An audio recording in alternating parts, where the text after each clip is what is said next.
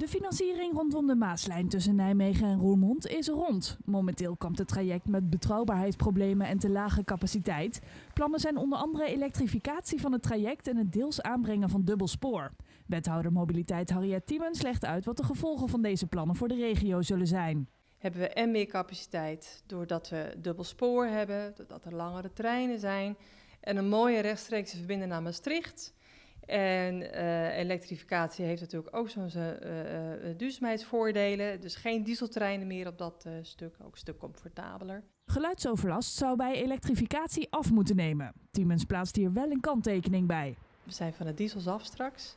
Maar er gaan waarschijnlijk wel meer treinen rijden. De treinen die worden dan ook langer, dus dan heb je ook wel wat meer perronruimte nodig. Sowieso is dat station gedateerd. Uh, dat moet worden uh, gemoderniseerd. Het moet ook worden, uh, qua comfort echt worden verbeterd. Naast de Maaslijn wordt ook station Heijendaal aangepakt. Dit is het drukste station langs het traject. De elektrificatie maakt de aanpassing van station Heijendaal noodzakelijk. De dorpen is, is het, die zullen er echt wel hinder van ondervinden.